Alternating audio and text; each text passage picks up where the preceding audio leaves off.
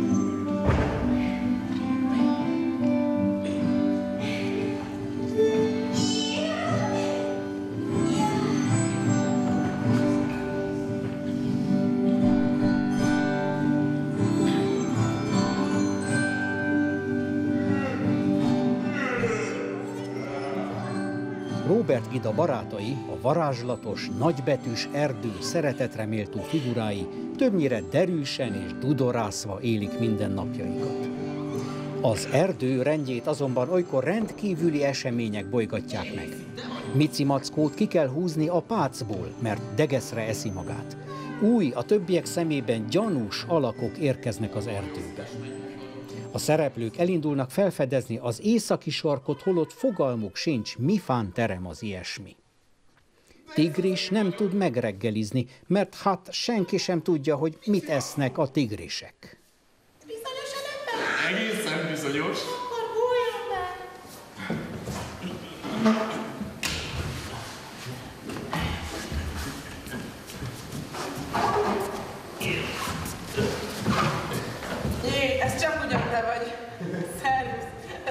szerencsének. Mit gondoltál? Tudod, sosem lehet biztosan tudni.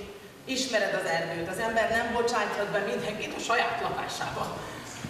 Parancsolsz valami harapni valót? Uh-huh.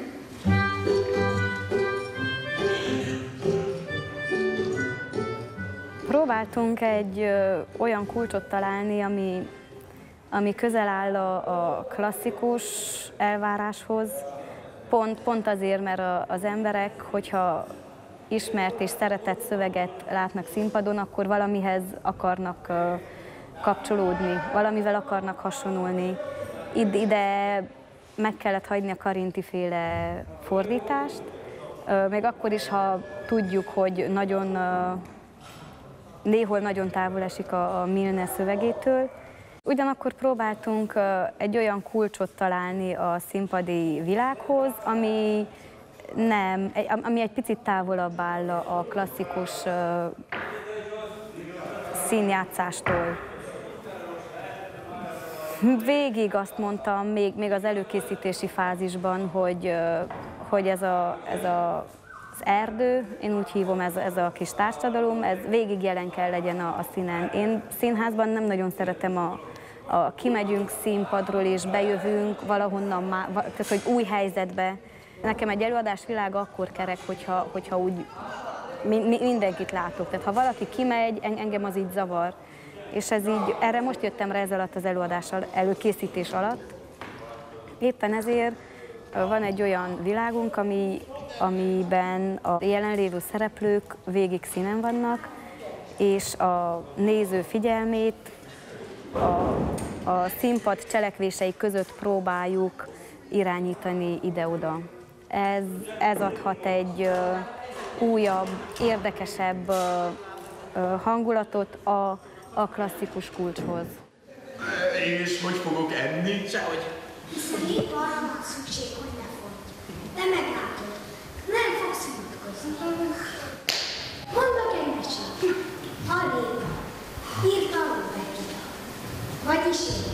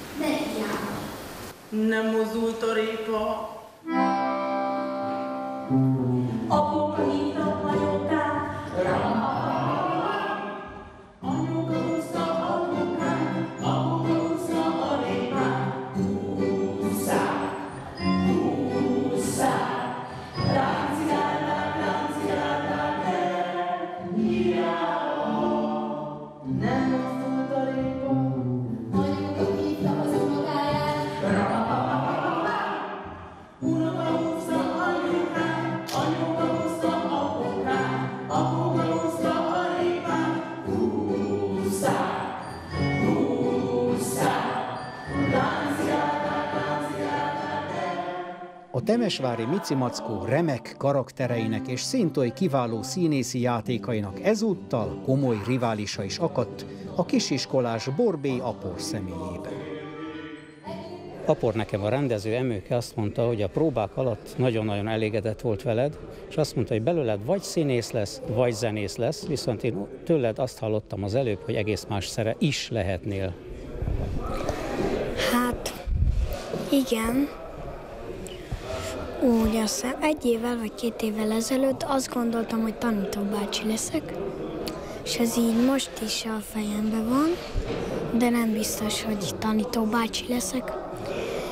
És a színész is, az is eszembe jutott, hogy lehet, hogy színész leszek. És Apor, neked mi tetszett a leginkább így a próbák alatt? Mi, mi volt neked a legnagyobb élmény? Amikor elkezdtük, amikor um, vagy fölkerültük a nagy színpadra, vagy át a stúdióterembe, vagy amikor elkezdtük. És a szöveget könnyen tanultad? Igen, könnyen. Azt hallottam, hogy az előadás előtt két nappal csúnyán berekedtél, és most mégis azért a, én érzem a hangodon, de azért sokkal jobb, mint tegnap. Volt kétségbeesés, hogy nem fogsz tudni a premiéren szerepelni? Hát volt egy pici, de csak egy pici, de mi nem gondoltunk arra, hogy, hogy nem szerepelek a premiéren. Ha legfeljebb nagyon reket vagyok, mm, akkor is jövök.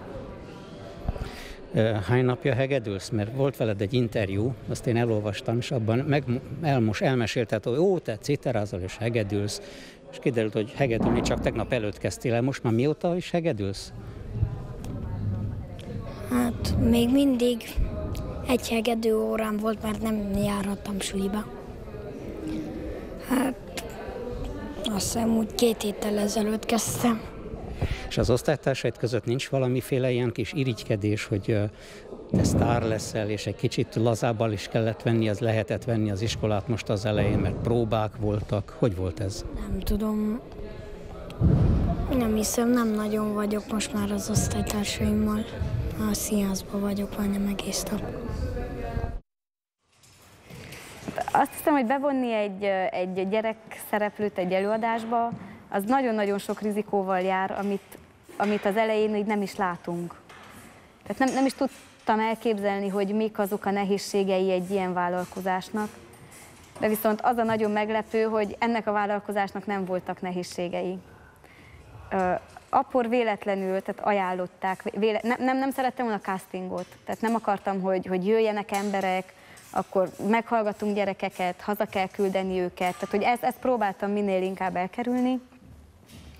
Aport a tanítóbácsi ajánlotta, és így amikor így bejött a, a találkozóra, tehát elmondott gyönyörűen egy olyan verset, amit előtte egy évvel mondott utoljára. És így látszott, hogy annyira pontosan rögzítette, és annyira pontosan elő tudta venni, hogy tehát ne, nem tudtunk utána megszólalni. és már, már akkor éreztük, hogy, hogy nagy, nagyon pontosan tud rögzíteni. És, és nagy, nagyon laza ebben a, ebben a, a szövegmondás, hely, helyzetkipróbálásban. És a próbákon meg az derült ki, hogy, hogy van benne egy olyan elemi exhibicionizmus, meg olyan, olyan elemi lazaság, ami, a, a, amin, tehát mi- minden próba után így mondtuk, hogy hú, hú, nagyon könnyen megtalálta a hangot a színészekkel, nagyon, a színészek is nagyon, nagyon tudtak rajta segíteni, lazítani, tehát látszott így, sok, tehát így látszott így a próbák elteltével, hogy, hogy ő egy, egyre jobban érzi magát itt, egyre in- inkább kezdett felszabadulni, csintalankodni. Minél csintalanabb volt, mi an, an, annál jobban szerettük, mert láttuk, hogy annyira, an, annyira laza és an, annyira jó, jót tesz neki a jelenetekben az, hogy, hogy, hogy egy jó légkörbe kerül bele. Azt hiszem, hogy min- minket segített az ő jelenléte koncentrációban mert vele sokkal koncentráltabban kell játszani is, és sokkal koncentráltabban kell dolgozni is. És ez, ez összerántotta azokat a próbákat, amiket, amiket aporral csináltunk. Nagyon, tehát annyira, annyira pontos és annyira laza, hogy ezt, ezt még így álmodni sem mertük volna. Én sem, és a szereposztás sem.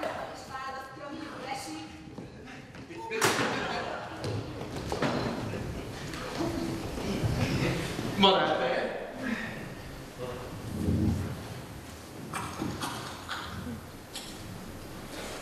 A tigrisek nem szeretik a madártejet.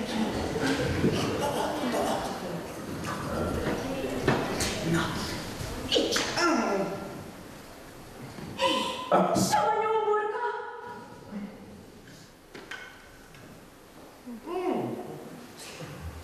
A tigrisek nem szeretik a savanyú borkát.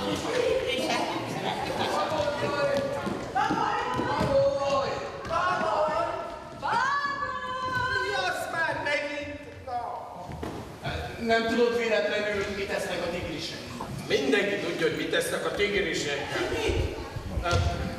De éppen ezért aztán nem is szükséges, hogy elmondjam, hogy mit tesznek a tigrisek.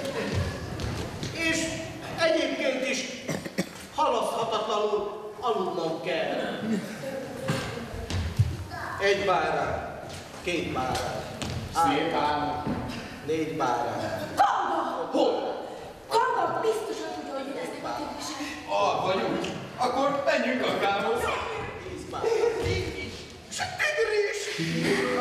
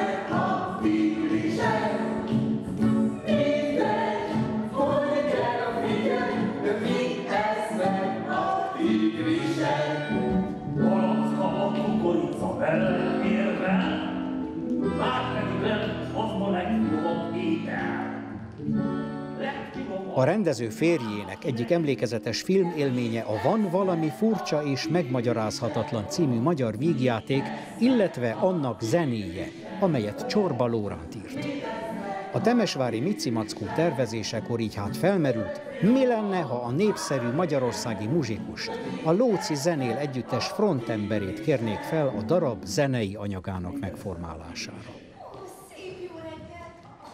Az egész próba folyamatnak az egyik legnagyobb találkozása számomra a dramaturga Bertóti Johannával volt, hiszen olyan szöveget küldött, amit én nagyon szívesen zenésítettem meg. Egyébként ez ritka nálam, hiszen általában én írom a zenét is, meg a szöveget is, viszont itt volt egy nagyon erős ö, koncepció, láttam, hogy ezt ők hogy szeretnék megcsinálni, és nagyon örültem annak, hogy olyan szöveget küldött, amiben könnyű volt belehelyezkedni, és rá lehetett ö, zenélni, illetve az emőkének a, a rendezőnek az instrukciói alapján tudtunk előrébb menni olyan jókat mondott mindig, hogy pontosan tudtam, hogy mire gondol, tehát nem kellett nekem még, most, még azért kitalálnom, hogy vajon itt most ez így van, vagy úgy van, hanem rögtön tudtam zenei anyagot szolgáltatni.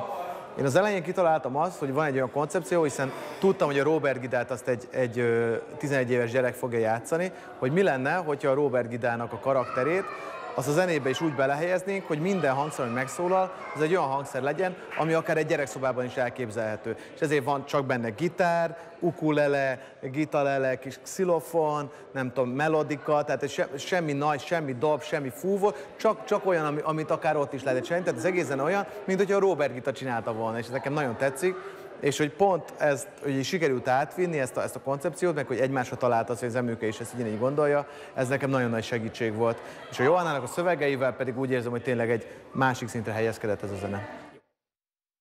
Különös öröm volt a dalszövegeket írni ehhez az előadáshoz, és külön öröm volt a zeneszerzővel, Csorba Lorántal dolgozni. Az elképzelés az volt, hogy bizonyos versikéket átveszünk a Karinti féle változatból, és további dalszövegeket is írtam. Tehát egy részük, egy kisebb részük a, a Karinti féle változatból van, és a többit pedig én magam írtam. Ez, ezeket a dalokat pedig a helyzetek hozták, tehát amikor úgy éreztük, hogy most itt dalra kellene fakadjon egy szereplő, vagy több szereplő, amikor a szituáció ezt megkívánta, akkor oda, oda írtam új dalokat. Sokféle népek vannak. Az egyik nem akar, a másik nem tud. Mit nem tud? Mulatni, vidulni, énekelni, táncolni. Na itt van a kutya eltemetve. Vagy úgy. Melyik? Az a kutya azzal a kutya jogkedvével. Nem palaszképpen mondom, csak úgy, te csak énekelj, tralala, télen, nyáron. A rajz és bábfilmekből ismerős figurák elsőre azt sugalnák a Micimackó szemen szedett gyerekelőadás. De miért is?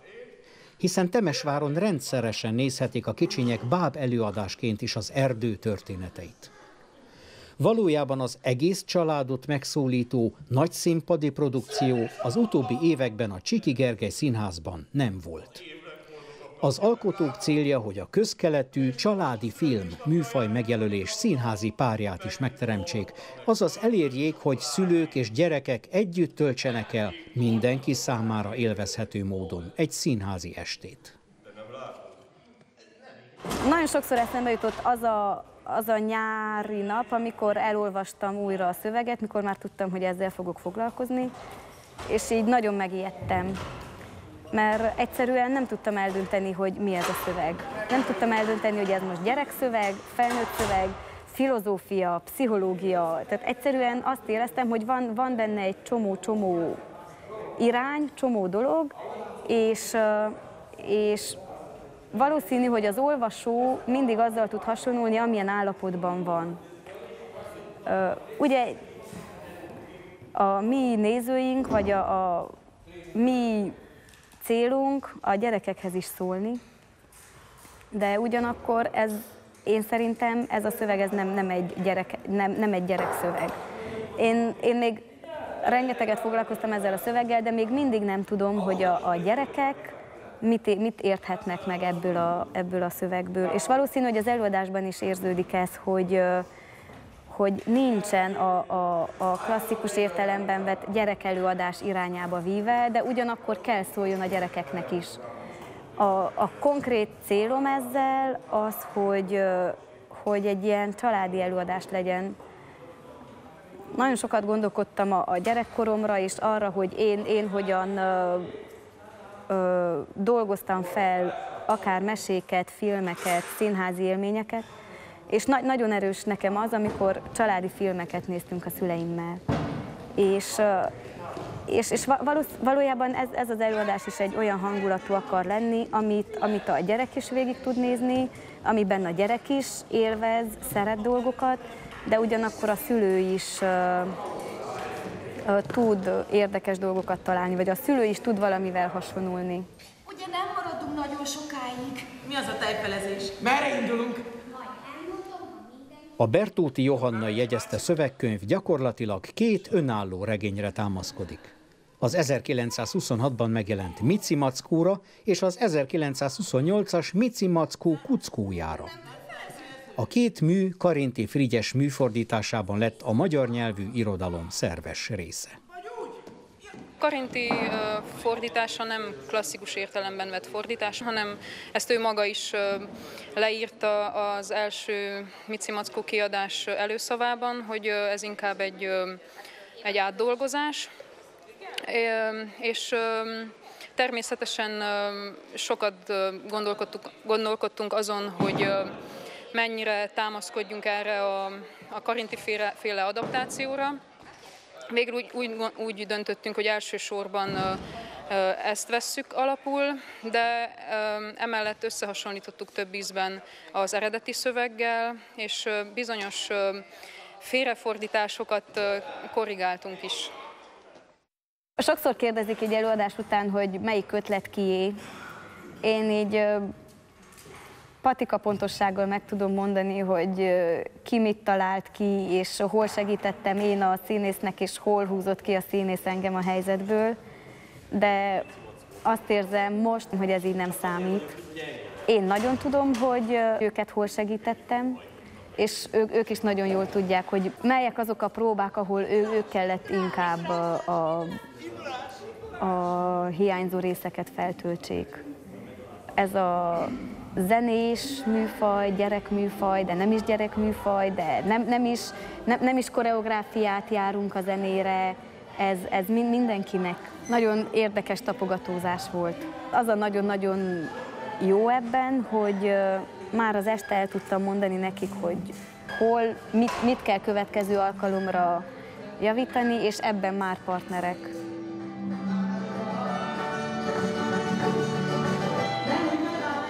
A próba folyamatnak egy nehéz része az, amikor először találkozol a, a színészekkel, akik el fogják énekelni azokat a dalokat, amiket elképzeltél valahogy. Ez nyilvánvalóan itt ö, innentől nagyon sok finom hangulás van szükség, és az egy egészen érdekes pszichológiai folyamat, hogy rájössz arra, hogy mennyit lehet még a színészből kihozni, vagy mennyit kell neked engedned az elképzeléseidből. Tehát, hogy, hogy pontosan itt valahol, valahol ezt össze kell hozni. Ráadásul én nem vagyok énektanár nyilván, tehát én zeneszerző vagyok, és nem tudom, hogy mennyire legyek most egy izé, diktatórikus ember, aki már pedig ezt kell énekelni. Van, aki azt igényli, hogy olyat mondjak, hogy akkor ezt kell énekelni, és kész.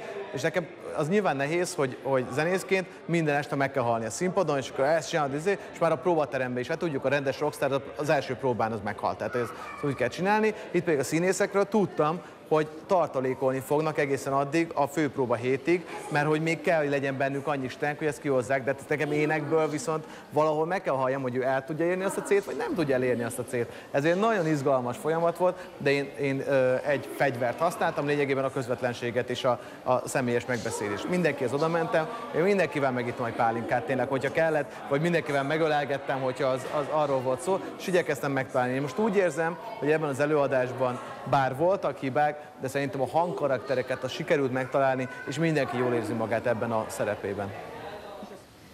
Zsebi, mama, soha nem hagyjátok abba az De azért